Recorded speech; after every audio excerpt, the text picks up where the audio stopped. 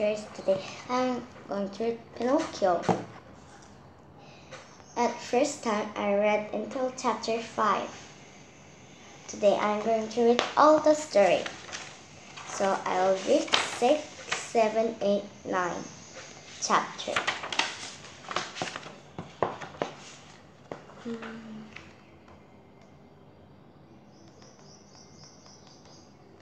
First chapter 9, chapter 6. There's the chapter 6. Meeting a fairy. Up behind, Pinocchio saw a little cottage.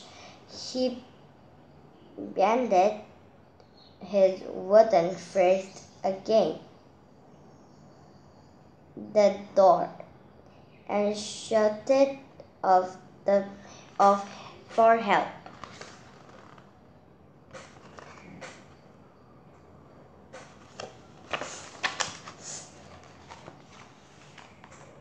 Poor Pinocchio could still hear the patter of mother's feet. Help! he shouted again the light went on and the front door swung open. The frightened puppet was invited in by a very polite poodle. My lad, la- my lady is sleeping, he said, but do come in. I will show you to your room. Will real lifted to escape. Curtain defeat. Pinocchio followed him. You may sleep here, master, Pinocchio, said the puddle. poodle. Breakfast will be served at night. Pinocchio was so pleased to be safe. He didn't stop to wonder how the Pinocchio knew his home.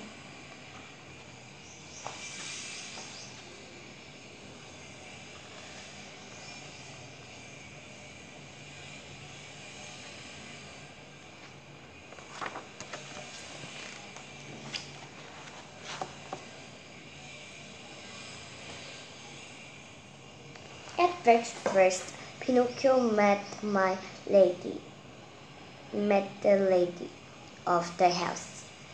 She was a silver fairy who twinkled like starlight.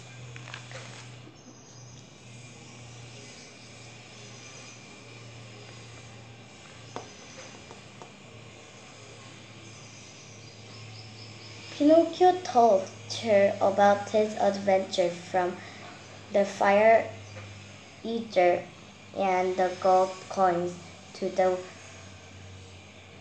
murderers.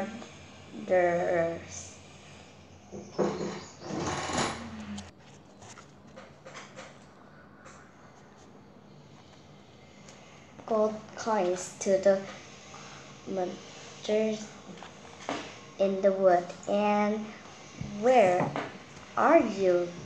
Are your coins? She asked. Can I see them? No, said Pinocchio quietly, because I have uh, lost them. Yes, the word left his mouth, his nose grew a little longer. Where did you lose them? asked the fairy, smiling. Um, in the woods, lay the puppet. And stand till his nose bubbled and leg wait leg or mother maybe I swallowed them he it by, by now. His nose was touching the wall, and the coins were jangling in his pocket. You're lying, giggled the fairy.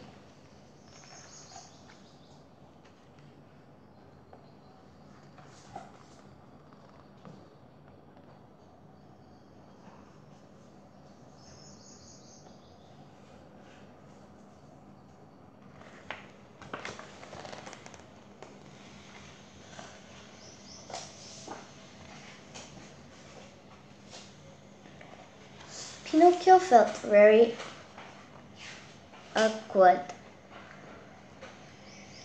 He turned to run from the room, but his incredibly nose, long nose got in the way. Soon the fairy stopped laughing and took pity no on him.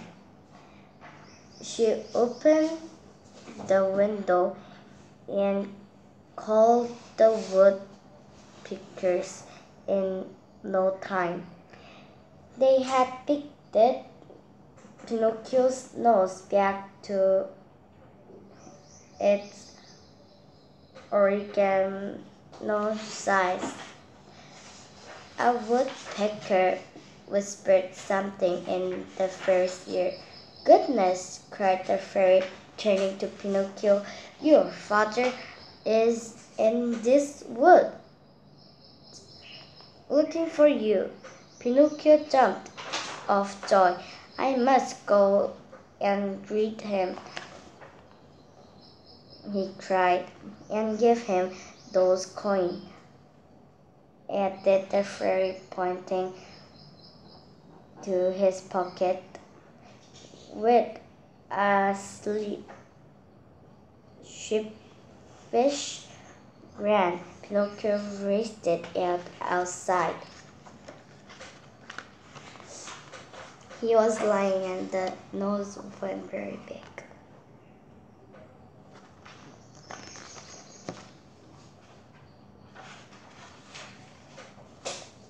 Chapter 7 The Flight of Miracles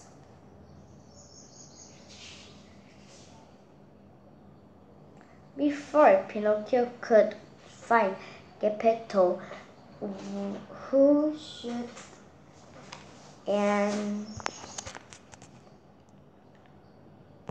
who should he bump into the fox and cat. They they were very friendly and up apologized for leaving him at, at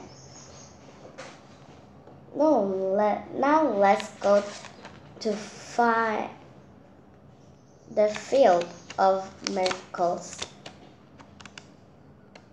Said the sly fox not me, said Pinocchio. I am off to find my dad. Which only if you four coins in your pocket, said the cat. What a shame, added the fox, when you could have twenty. No, I have made up my mind, said the puppet. Goodbye, goodbye, called the fox and cat. See you when you're rich.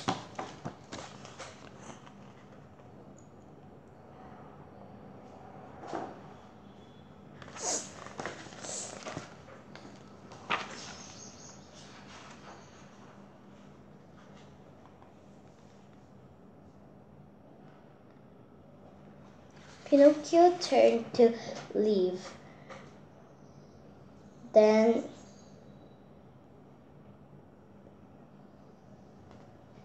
remembered his dream of golden trees. Wait for me, he cried. But the field of magical was nothing like Pinocchio's dream. It looked just any other field.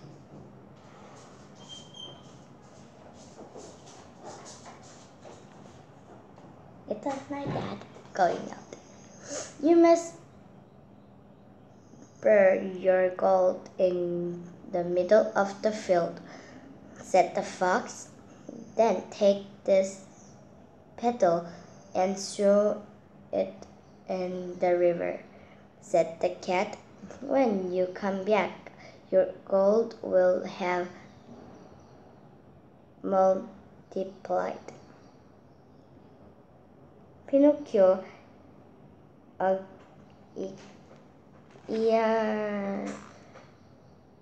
girl, dug a hole and covered with coins with mud, then ran down to the river.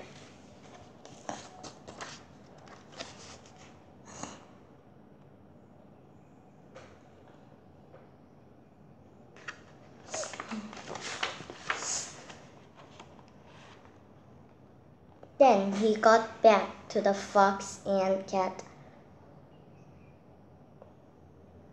Disappeared. He rushed to the middle of the window and dug. Silly puppet, squeaked up Parto. Did you really believe that story? Pinocchio ignored him and dug deeper and deeper until he was covered with dirt. The only thing he found was a worm. Chapter 8 Toyland Of Harris, Pinocchio select in the field when the huge pigeon called at him. He didn't bother bother replying. Pinocchio cooked the, the pigeon again. Pinocchio just sniffed. Geppetto is in great danger and Pigeon went on. Come on, quickly.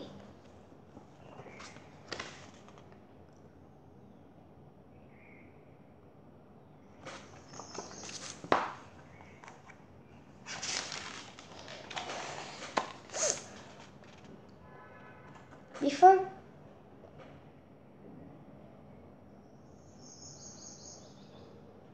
Pigeon called politely. The pi uh, Pinocchio called reply. The pigeon scooted him onto her back.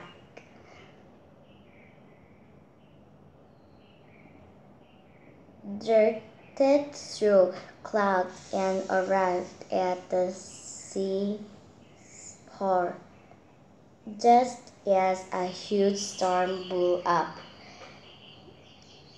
The couple of people stood on the store shore.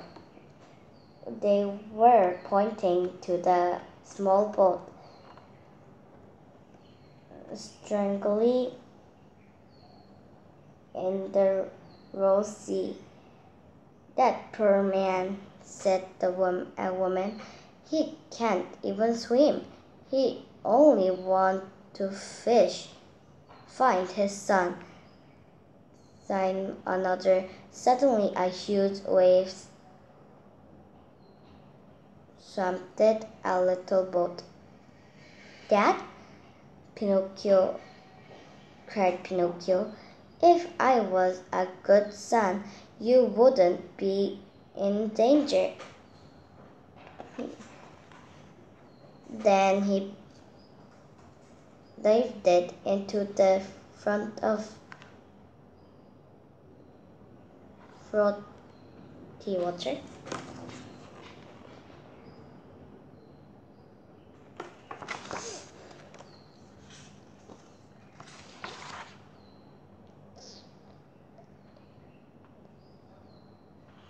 Pinocchio swam and swam. Soon the storm died down, but there was still no sign of Geppetto's boat.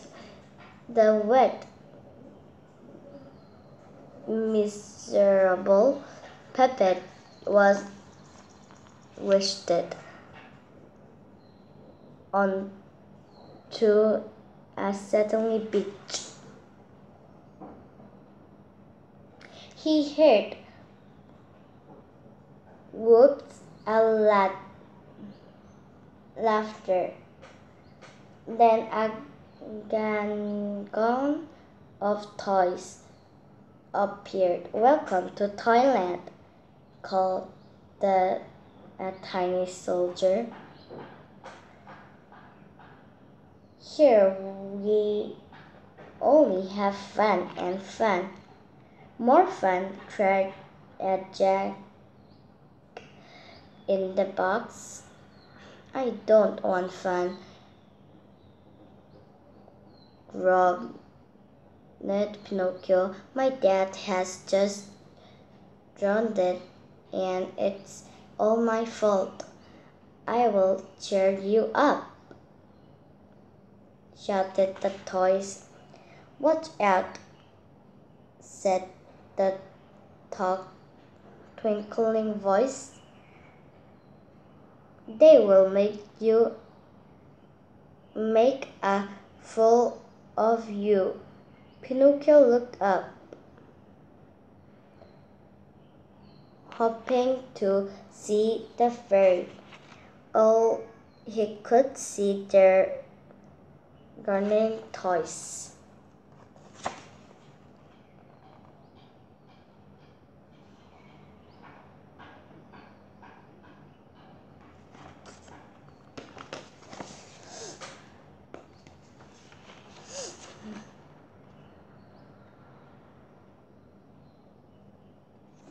Over the next few days, Pinocchio tried very hard not to have fun, but there was so much to do.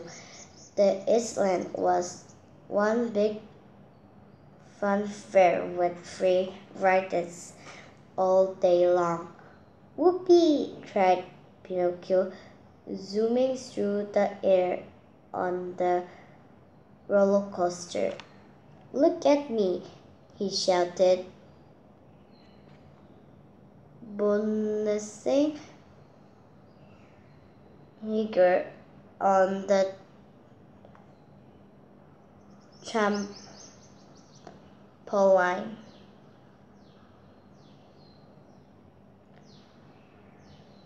In all the excitement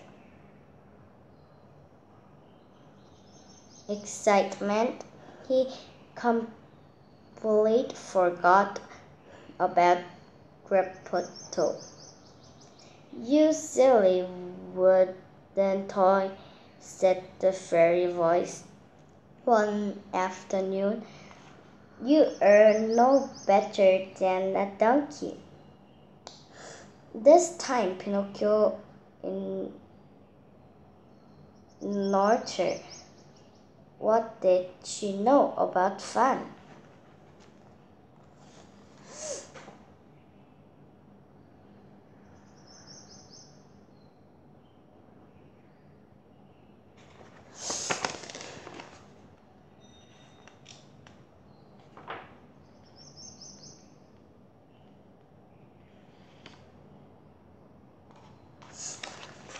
The next morning, Pinocchio woke up feeling itching all over his ears were uneasily heavy and he was growing fur. Nevertheless, he looked his mirror. Oh no, cried, he cried. he was turning into a donkey. He couldn't let anyone see him like this without a second second. Thought he ran to the beach jumped into the sea and swam away. Chapter 9 inside the shark. It was hard for pinocchio to swim as a donkey. He felt very heavy and little fish kept tangling on his coat. Then he realized there was needling of here his fear.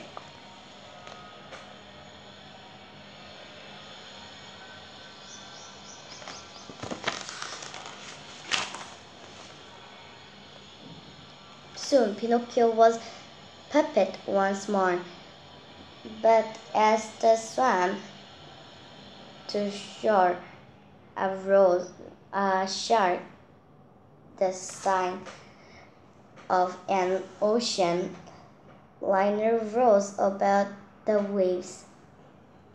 There was a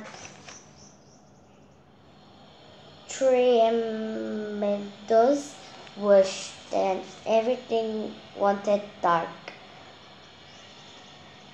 Even totally, Pinocchio saw a faint glow in the distance. The glow led him to the man reading a candlelight. The old man was served for weeks on food supplies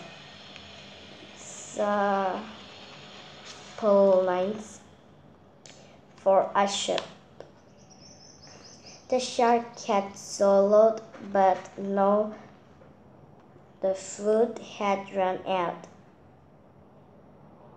We are doomed, my son, Grapple Geppetto sighed.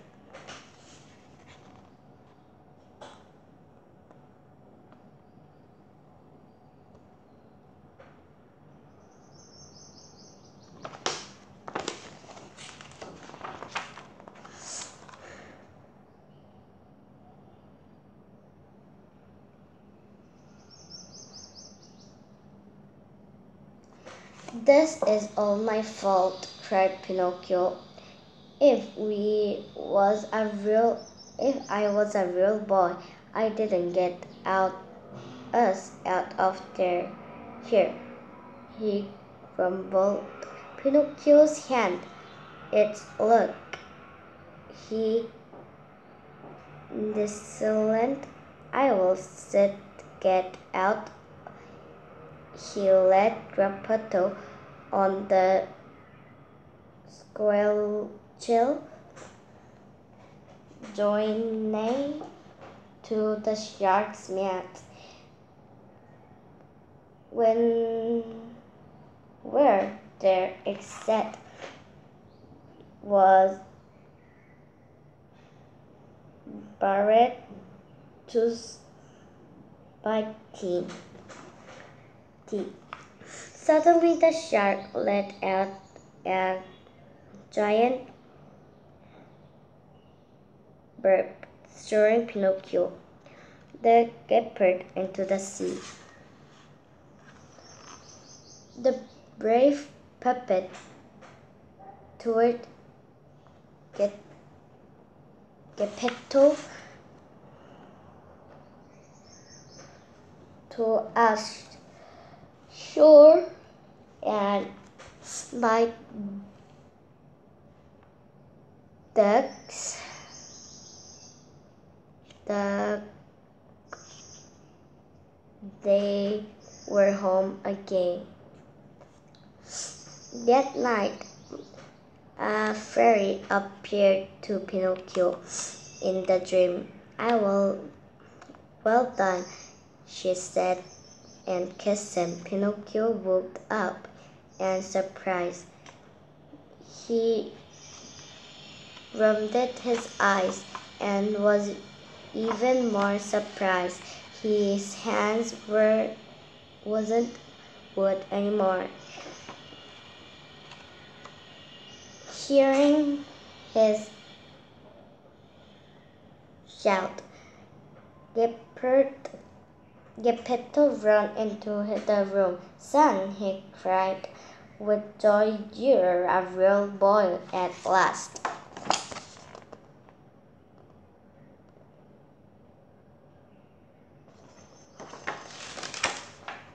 Finish. yesterday. I read a story. It was a very long story, isn't it? Yes, next time I'll read more stories. Then bye.